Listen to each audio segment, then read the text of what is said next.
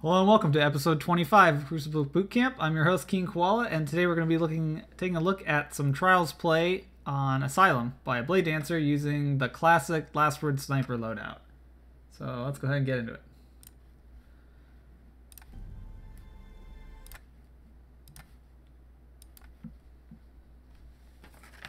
Notes here. So Asylum's kind of an interesting map for trials because there's basically two 50-50s. The first 50-50, as you can see, our hero goes down into the first 50-50, which is by this this car. Uh, it's a little easier on this uh, from this spawn, uh, alpha spawn, as opposed to bravo spawn, just because you can use the car as a pseudo head glitch, which is really nice. But you want to have your sniper out earlier when you do get to the head glitch, and you want to try to slide into it. He jumps into it, which is good too and you don't want to try to push out a cover. So he's going to go try to support his teammates, but unfortunately, uh, when you engage like this, uh, you want to make sure that you're pulling back into cover as you end the engagement, which is good. So he does that, but because of the positioning on this particular map, he ends up being completely in the open. So he starts here, he moves here, and engages this way. So from this position, if anyone pushes down through mid-jungle onto the tree or up through atrium, he's going to be exposed. There isn't a great option for him to move back into cover just because of the way this, this uh, angle is going to look. He really has to push all the way inside atrium in order to go back into cover. Or push towards the body around this pillar. So it's really important if you do go to the 50-50 that you know where your outs are. You can't just move straight back most of the time. Normally you have to move laterally.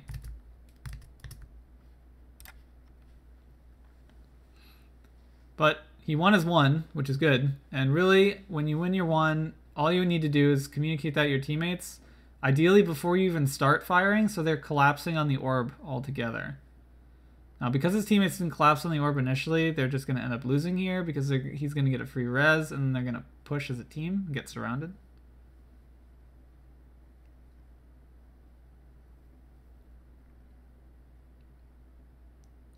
But initially, our hero, Carl Hungus, 23, made a very good play there. Did the right thing. So he's going to back, back to the 50-50. He's going to change it up a little bit. He's not going to be right next to that car. He's going to go in front of the other two. I like this, but unfortunately, uh, he's not really close to very many of his teammates. So he gets the pick with team fire. He goes to prime someone with a grenade. Really nice priming uh, or pacing here. And based on his positioning of his teammates, they just basically crossfire as they're running away from his engagement. So that was a great round for his team as well. But again, we've had we've headed to the 50-50 twice now. It's important in trials that you mix up your opening. The more times you go to the same spot on trials, the easier it is for your opponents to react to what you're trying to do. So if you're always going to the 50-50 in the same way, eventually they're going to figure out okay if i just throw a grenade over there he's going to be right there i'm going to tag him and he's going to need to move and then i can basically roam free through that traffic lane that you were originally covering. Or you could potentially die just because maybe you get surrounded because they avoid your lane altogether and you're too focused on hard scoping or something like that. It's good that when he does go to this 50-50 he changes the way he approaches it.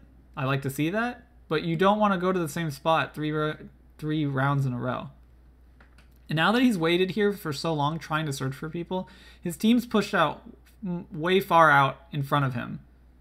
So now that he's getting pushed through railing, he has no option but to try to support his teammate. And if he was here to begin with, perhaps his teammate uh, wouldn't have died.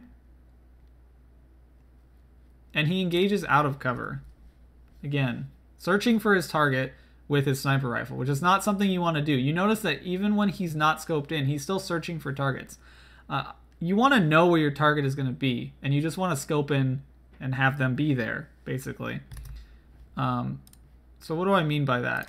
Well, when you move somewhere, you should ha always have a place you should be looking. Um, go back to our action of tar, think act react. So we think that our opponent is going to go off spawn into the 50-50, right? So our counter move is to go to the 50-50 first and hard scope down the lane. That's that's all fine and dandy. But what if they don't show up there? You can't wait for them to show up because they know where you are. by knowing where you aren't. That's important to, to understand that if someone isn't where you think they're going to be, you have to decide, well, where can they be instead? So most maps are divided into three sections. There's a mid lane, and there's the top of the map and the bottom of the map. So if we think about it that way, if they're not in the middle, they can only be in the top or the bottom. So you, then your next move just needs to be to decide, do I want to go cover the top of the map? Do I want to cover the bottom of the map?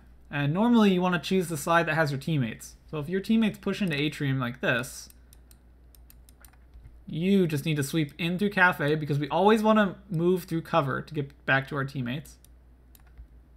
We want to keep ourselves uh, exposed as little as possible. If we had gone through cafe, that means if they are in top, in the top portion of the map, if they're on B, they're most likely looking down into atrium, which means that this push through jungle to try to get to our teammates is going to completely expose us in this section here because there's no cover. So something as simple as taking it a couple extra seconds to go around could potentially win you the round. And not let it snowball.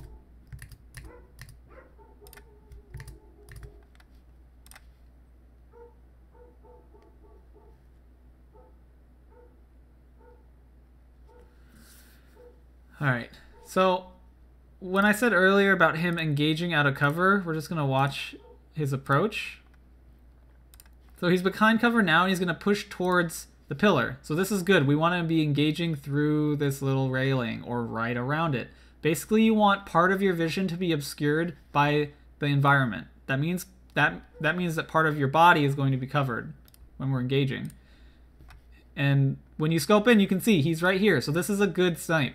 All you need to do here is either, you know, swipe diagonally down to try to get ahead, or just strike straight down and let him walk into your scope so you can get a body or line up for a headshot. You have plenty of time here. You're most likely going to get shot at, so you want to go for a quick body. As soon as you miss that first shot, you should be scoping out. Um, a good good habit to get into is just assume that your first shot's going to hit in this mid distance here. This is relatively close. You can see he's firing on him with his primary. You want to scope out and pull back into cover. Uh, ideally, when you take the shot, you already want to be moving back into cover completely. That way you're ready for, you know, whatever comes next. Or you can move out of the way for someone tries to grenade you. There are a lot of things that can happen. But if you miss your first shot, you don't want normally want to try to go for a second shot, you just want to reposition. As a blade dancer, running blink in this case, it's really easy. All you need to do is blink away. Most of the time people aren't going to hit you. You're going to get disoriented by blink. So he ends up blinking a little bit too late there, just trying to help his teammate out. But, I mean, his teammate was supporting him there, and that's what your engagement should look like in trials. You should be close enough to your teammates to not necessarily get multi-grenaded, but close enough that they can support any any firefight that you end up getting in.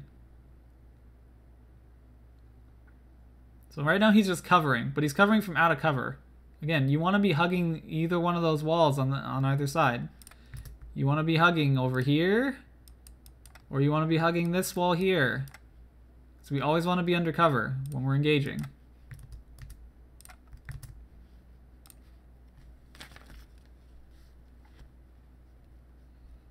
So this round is, this next round coming up is a textbook of what you want your trials rounds to look like when you play as a team. So what, what they're going to do is they're going to push right up into, into B. I'm going to push all the way through to boxes. So he's going to do a slide here, which is really nice. He's going to get a body shot.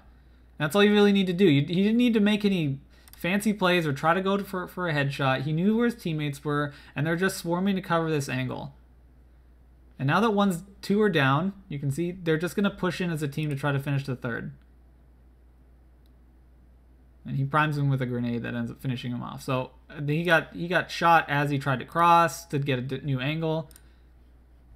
But that's what you want your trials rounds to look like. No one made a huge play there. No one made like a montage play or some flashy clip. There was no flank. It was just good old bread and butter team firing. And that's all you really need to do. You just need to be close enough to your teammate and listen to what they're saying to know exactly where your opponents are and just hit them once or twice. You don't need to actually, you know, kill them from zero to go from 100 to zero. You can just take them from 100 to 50 and then let your teammates finish them off. You don't need to be a hero in trials. The whole point is it's an incredibly intense team match. And yeah, some people can carry. Some people are smart enough or good enough that they can 1v3 all the time. But for your average player, if you're going to be successful is if all you do is hit one or two shots on the same target as your buddy. Anyone can go flawless if if all you do is stick together as a team and shoot the same target. Because most of the time you're gonna it's gonna whittle down into those perfect 1v1 engagements. As long as you're confident in your ability and you're willing to push aggressively um, and smartly, you're gonna win. Because what's gonna happen is you're gonna start in a 3v3 and you're gonna team fire one guy down. So now it's a 3v2 and one of you is probably weak from the firefight, but you're gonna keep fighting. So it'll go down to a 2v2, but then the second person on their team will be weak. So then it'll be a 2v1. And then maybe they get down to a 1v1 and then hopefully your guy is more healthier than their guy and you just land your shots. That's how an ideal 3v3 engagement will work. Um, trials, uh, you can either do that or if you're confident in your ability to properly disengage, you can do 2-1 splits where two people team fire and one person flanks. And so the important thing is when you flank, uh, you need to know when you need to push in and apply pressure, and your teammates need to follow to pincer them, or you need to know when to pull out and be a distraction because then your teammates can cover ground and move in and base and and uh, put again put pressure on your on the enemy team. The whole time you want the enemy team to feel uncomfortable. You don't want them to feel like they can line up shots or that they have time to set up a sniper lane or anything like that. You want to constantly be priming them with grenades. You want to be constantly getting in their face, and you want to make them, you want to force them to make plays while you play the game at your pace. Even if that means you just control the middle of the map and say, hey, come and get me, that's fine. But decide as a team how you're going to play out the map.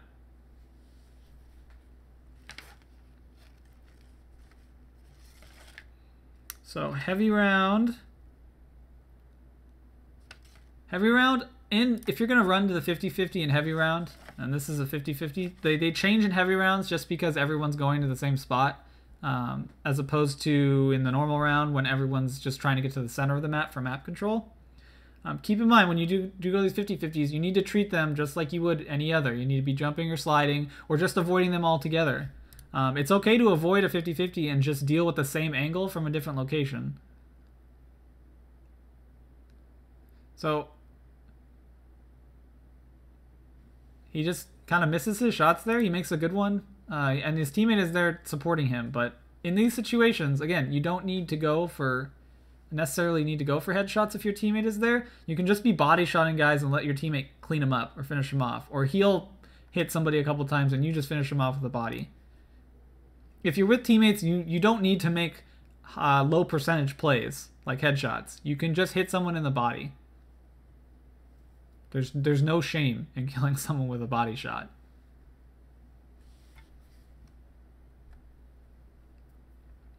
All right.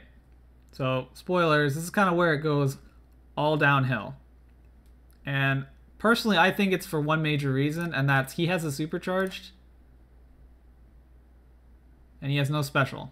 So, two two issues here. First of all, when you have your supercharged and it's round, you know, in this case it's round 6 and the enemy team doesn't necessarily have uh, great su- shutdown supers. We saw Titan, but he's running Sunbreaker, um, which you can kill if you're close enough when you pop your blade. And also, they aren't very far ahead at all. Your rounds haven't really taken all that long. So maybe they have one super up, but most likely they don't. You need to aggressively use your supers early, especially if you have a lead like this in trials. Uh, you can pop three if you need to to finish the game out. But the whole point is use that snowball to your advantage before you're and and don't let your team don't don't let the enemy team catch up. Um, and then the other issue is know how much special you have left. If you don't have any left, you should never be going to the 50-50 because uh, especially if it's a sniper lane. If it's a 50-50 like shotgun lane, which don't come come up very often, but occasionally they do. Um, don't go there without either a last word or having shotgun ammo yourself. Know how you need to maneuver in order to create an engagement where you're going to be successful. If he had gone to that 50 50 and someone was actually there, he would have died because he had no way of challenging that person without a long range primary. So really good pacing there. He's going to go for a res, which is good. But in the case of a 1v1, that is your ideal situation for you to pop your super. And even in a 2v1, that's fine to pop your super too, especially if you're jumping into them and not really paying attention to you. Because right now it's 2v2. You're going to get that kill, and then the other guy's going to die here. So you don't need to get a res here. You can just finish them off right now. You need just push to cover orbs and pop your super. That's all you need to do. If you are going to go for res, as soon as you get them up, pop your super. Because there's going to be two guys that coming at you now. And they're going to be distracted by the orb. If you're going to make this kind of play with your super up, you're using your teammate as bait. Um, which is fine. Use your teammate as bait. But you need to convert on it. Um, if they get a kill for free here, that's worse because you're charging their super.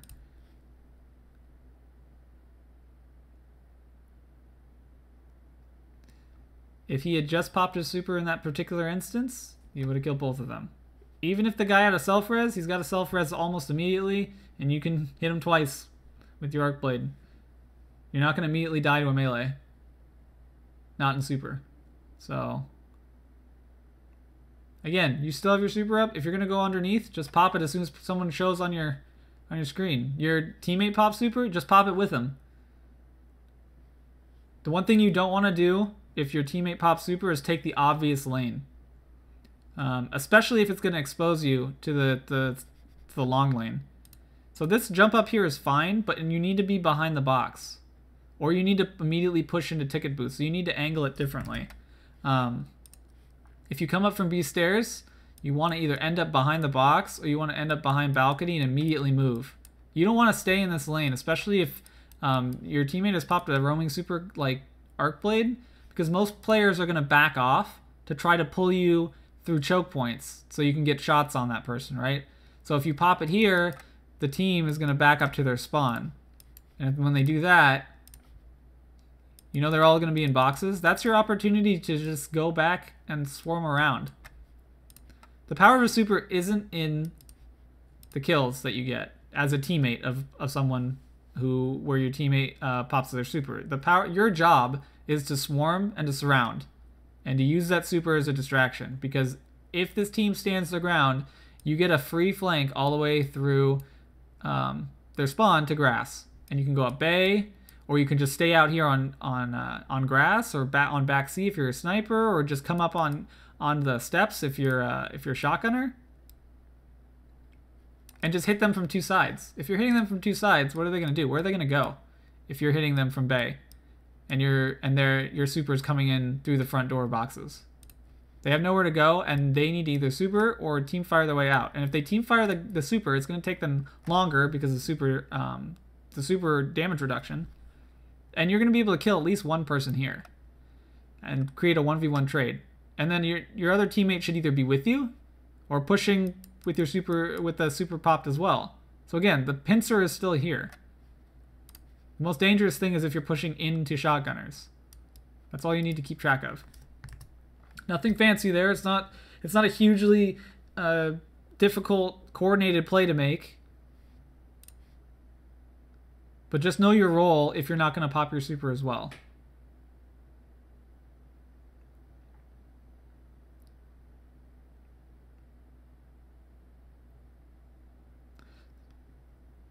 In the case of if you have arc blade and you get hit by hammer, you can't push into the hammer because it takes two to kill you, or one sun charge.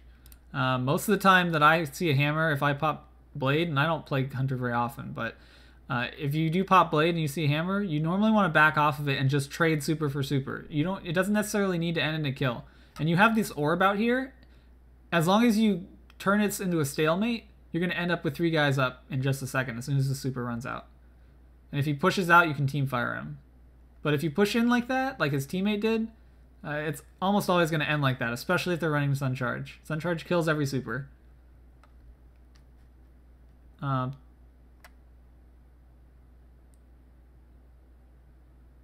so again, we have no special. We don't want to be going to the 50-50. We either need to be playing for green, and you can tell your teammates that. But you don't want to push into the middle of a lane where you can't defend yourself. He's going to take the obvious route to escape. but not be close to his teammates. So he's gonna get. Uh, he he doesn't go into cover. He's pushing back out through the middle of the lane. So this escape is good. He's essentially gotten away at this point. If you're gonna go up into B, you need to hide behind a pillar, not pull back out. You want to stay behind that pillar and let your teammates come to you, or figure out how you're gonna cross to get to them. What you don't want to do is pull out of cover into where you're going to be exposed by the guys that were just chasing after you and let yourself get killed.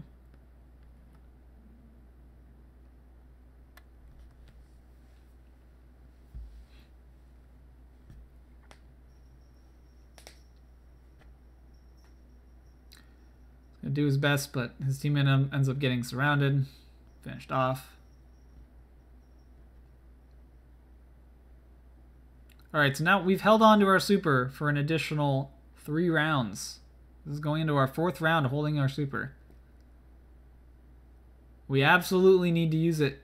You do not want to die and finish a game with your super still up. I would you want it you you should be dying using your super um than dying before you get a chance to. As soon as someone pops up on your radar like this, just pop it and go in. You just gets double fire bolted and then proceeds to get teabagged because, as is tradition in trials, people are awful. Don't need to see that. So, some real, I mean, some real basic takeaways. Um, you need to practice different approaches for trials. You should never be going to the same spot twice in a row, and you should never approach that spot when you do finally return to it in the same way. You don't want to give your enemy an opportunity to adjust to what you're trying to do. So if round one, you decide you're going to go to the truck for 50-50, or the car, uh, round two, you know, go into Atrium.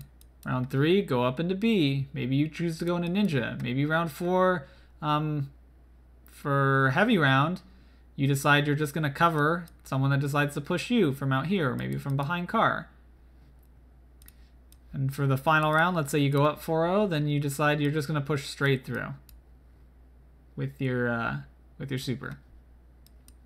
You don't need to do anything fancy. You don't need to make any huge plays. You just need to mix up your approaches.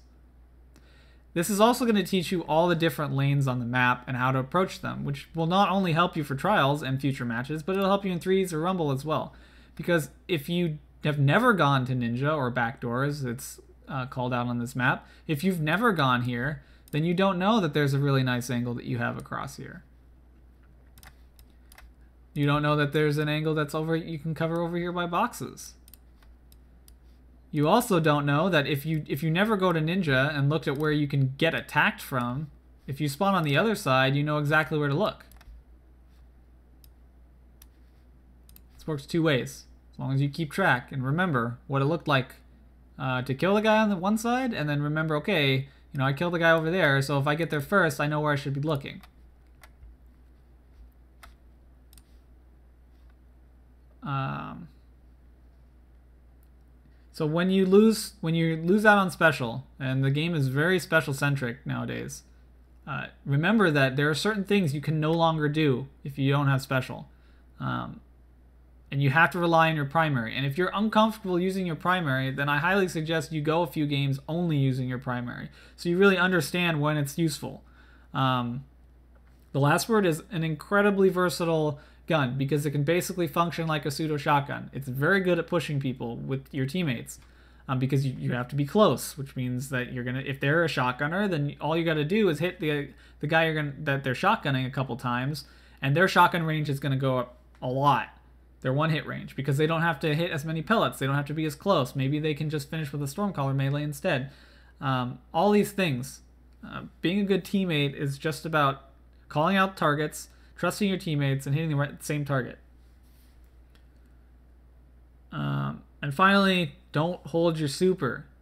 Um, unless it's a shutdown super. And if it's a shutdown super, then uh, have a good idea of what your opponent, like what you really need to shut down, and so I play a striker, and Striker Titan has arguably the best shutdown super in the game, right? Fist of Havoc, especially if you combine it with Death from Above, because it basically becomes almost impossible to dodge.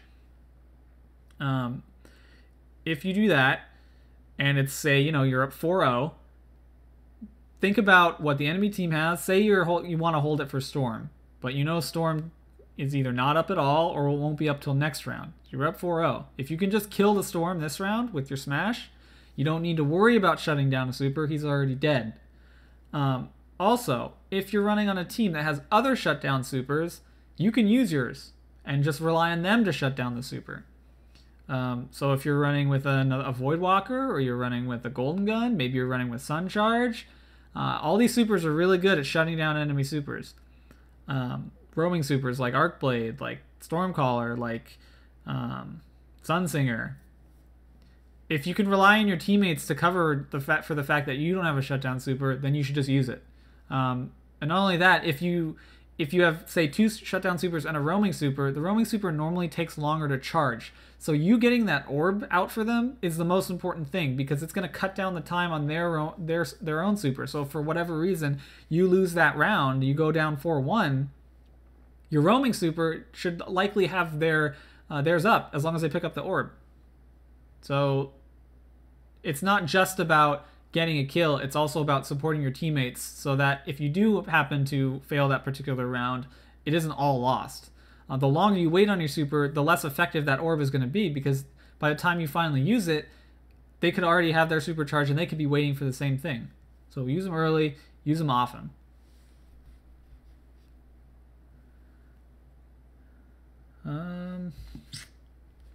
Yeah, I mean, short, pretty short episode today, pretty self-explanatory. Uh, next week, we will be having a uh, skirmish match from a Void Walker using my shotgun on time uh, Timekeeper. So keep an eye out for that. I'm trying to rotate between game modes. So we did a Rumble last time. We're doing trials this time. We're to do threes next time. Um, if you have any gameplay you want to submit to me, again, uh, if you've watched for a while now, you know the deal. It's threes, rumble, or trials, or elimination. Send it to Keenik at cruciblebootcamp.com and goes in my queue, just like this one. When it gets picked, I'll email you and let you know when it's up. Um, if you want to support the show, as always, you can donate or you can go become a Patreon backer. There's lots of backings. Um, short announcement about backers. I'm going to be giving out the September awards, announcing it next uh, on Thursday. So I'll be giving away uh, a Union of Light code, which is the emblem from PAX, and I also have this neat little Stormcaller, the little uh, Mega Bloks one. So those will be going to the Patreon backers for this month. I have more Stormcallers and, uh, to give away, and also a couple items of clothing and some posters. So those will be coming for future months. But for now, that's what's up for this month. Um, if you win and I announce your name, I'll email you, let you know and you know get your information for shipping or whatever to get that stuff out to you guys. But thank you guys for watching. Uh, as always, I've been your host Keen Koala, and class is dismissed.